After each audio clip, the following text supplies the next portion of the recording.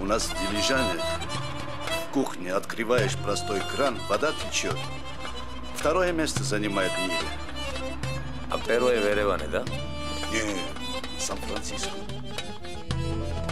На плато, обрамленном с востока Зангизурским хребтом, на высоте 2100 метров над уровнем моря, расположены источники термальной минеральной воды Джермук. Вода с древнейших времен применялась местными жителями в оздоровительных целях. Водные запасы Джермука довольно крупны. Здесь имеется около 40 источников, часть которых – фонтанирующие скважины. Их суточный выход достигает 2 миллионов литров. Температура воды колеблется от 57 до 64 градусов. Главной достопримечательностью города Джермук является питьевая галерея, расположенная на берегу пруда.